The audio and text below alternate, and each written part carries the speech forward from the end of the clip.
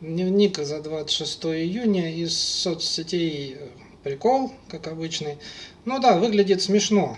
Вот у нас религия э, обычно набор знаний, которые она предоставляет, это какие-то старые книги, которые, в принципе, обычно написаны каким-то поэтическим языком, в общем-то, никаких полезных знаний не содержит или какой-то минимум содержит там элементарных операций, типа там не убей, не укради, то, что и так все знают, да?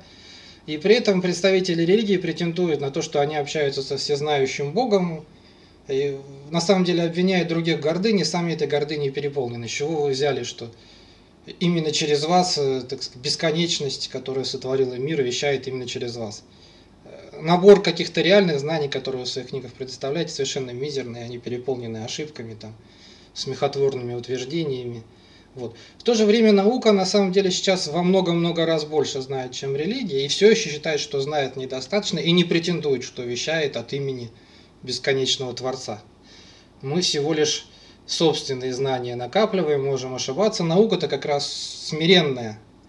Вот если говорить о гордыне, обычно религиозники говорят, вы там возгордились все, так вот вы возгордились. Вы говорите, что вы тут у нас божественные представители. Мы так не говорим, мы всего лишь накапливаем знания и накопили их в сотни раз больше, чем у вас, и до сих пор не возгордились, и продолжаем пребывать в сомнении, в критике, как и полагается подлинным сторонникам науки. И такая вот смешная ситуация дополняется, развивается все дальше и дальше. То есть религия все больше, так сказать, в своей гордыне погрязает, и наука все больше и больше развивается в своей критике и сомнении.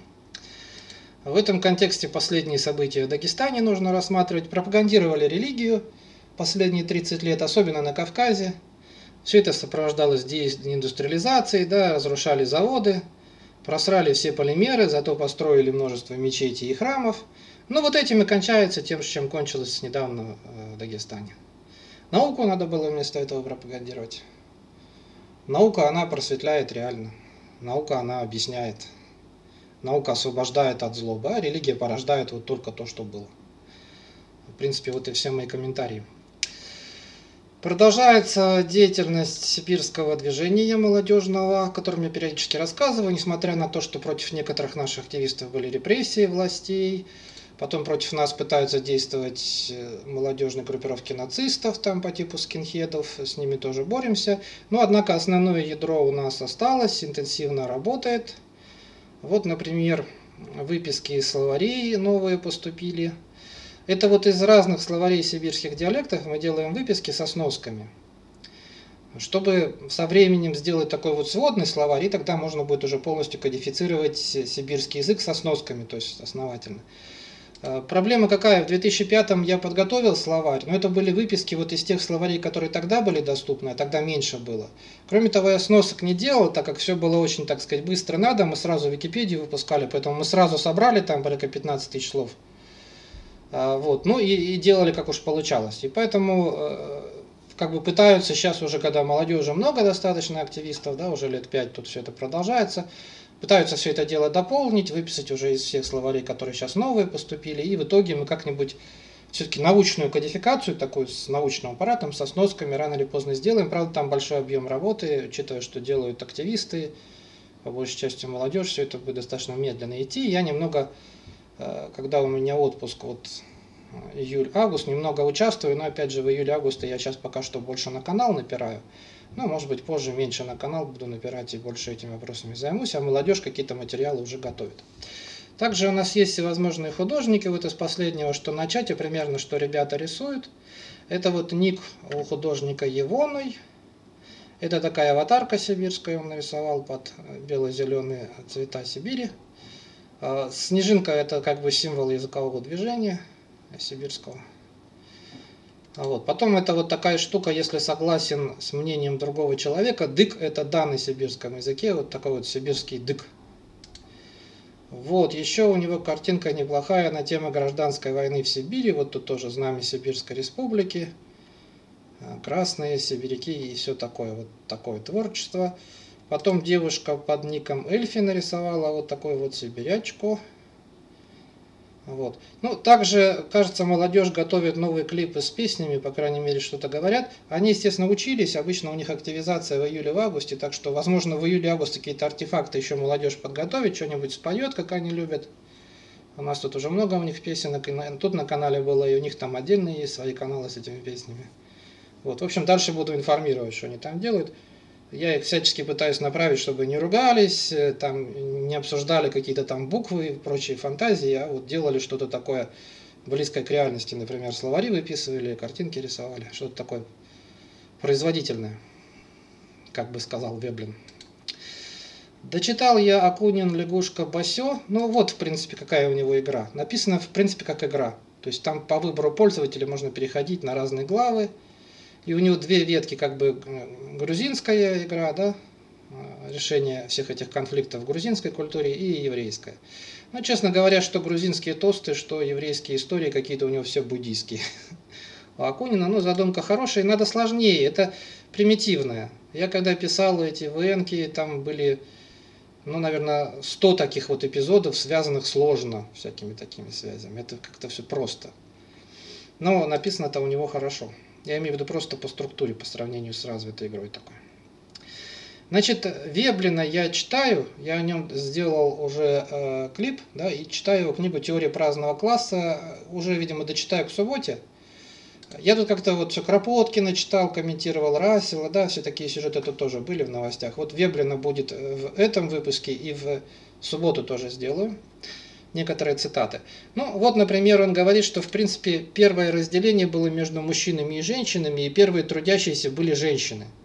То есть он считает, что в первобытном еще обществе, он исследовал всякие общества там примитивные, да, устоялось такое, что, э, дескать, работа такая, ну вот упорная последовательность, это женское дело, да, а мужик, он как бы должен охотиться, воевать, и как бы получилось, что доблесть и слава это не в труде эта идея, она была еще в период кризиса первобытного строя, что мужик он должен воевать и охотиться.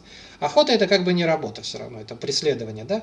Конечно, какой-то производительный эффект был, он там за охотой мужик приносил все что-нибудь там, или тем более с войны, но как бы э, это отличалось от того, чем женщины занимались, а женщины занимались именно трудом, то есть каким-то упорным там, э, землю там э, это самое копали и все такое, да, то есть это отличалось, и он считает, что вот с этого началось такое представление, что, дескать, работать позорно, что это женское занятие.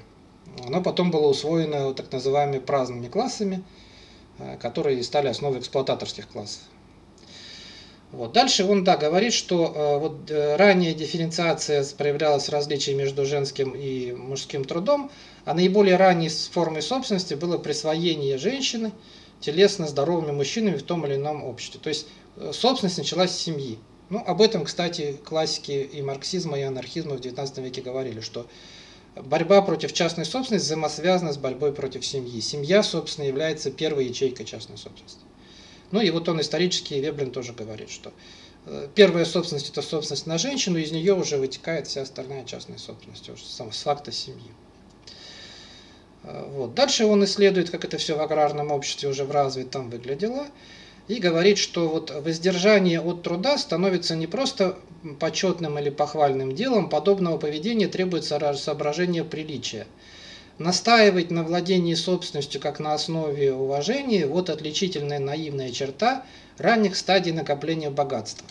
Ну, это можно заметить, допустим, по египетским там, или ассирийским надписям, где они все время говорят, я там убил огромное количество человек, всякие фараоны, я там захватил столько и столько добычи. Ясно, что это демонстрация состоятельности правителя, что раз много награбил, значит крутой правитель, да, большой крутой царь, да. И, соответственно, да, он э, смысл-то какой? Уважение, да, то есть вот уважение э, может достигаться через владение собственностью. То есть как психологическая причина, почему нужно захватывать все больше и больше собственности. Потому что физической причины нет. Человеку там достаточно какое-то количество для еды, там, э, не знаю, может быть, две-три женщины для секса максимум, а захватывать прямо сотнями а, там, женщин или там захватывать тонны еды одному человеку не надо. Да, он все равно столько не съест. Зачем делают они это? Вот э, для того, чтобы получить некое уважение. То есть, во-первых, э, получается у правящих классов, что если он не работает, это доказательство, что он себя обеспечивает. То есть, если он работает, значит, он плохой, он не может сам себя обеспечить. Да? И чем больше он захватит, тем, соответственно, выше его статус. А дальше пишет Веблин, труд не только делается постыдным в глазах членов общества, он отныне морально невозможен, для благородных и свободных по праву рождения людей несовместим с достойной жизнью. Вот тут мы имеем, собственно, рабовладельческую классовую мораль, да, которая уже сложилась в позднем аграрном обществе. Понятно, что как бы Веблин тут этого не указывает, но понятно любому человеку, что на самом деле все наоборот. Подлинного уважения достоин тот, кто работает, а не тот, кто паразитирует, грабит, убивает, насилует и так далее. Но у наших вот правящих классов наоборот издревле повелось, что работать позорно. Уважение, по их мнению, вызывается демонстрацией богатства или массовым насилием. И это кардинальная проблема человечества, уже наблюдаемая в древнеегипетские времена. Ну, вот еще Веблин пишет, что первоначально вот этот праздный класс хотя бы занимался войной, и демонстрировал, что свою, так сказать, доблесть именно в войне, ну вот как ассирийские цари, да, а теперь он вообще ни черта ни, ничем не занимается. То есть он занимается просто потреблением как таковым.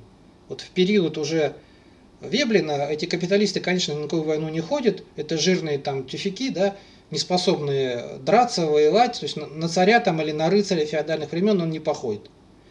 Это какой-то жирный чувак, у которого там болезни от того, что он много жрет, там, от диабета и так далее или там от наркотиков, которые он потребляет, тоже так статусно. Кстати, да, Веблин там пишет, что потребление дорогих наркотиков тоже форма статусного потребления. На самом деле это вредно, но вот богатые демонстрируют, что кокаин вот им доступен, а бедным нет.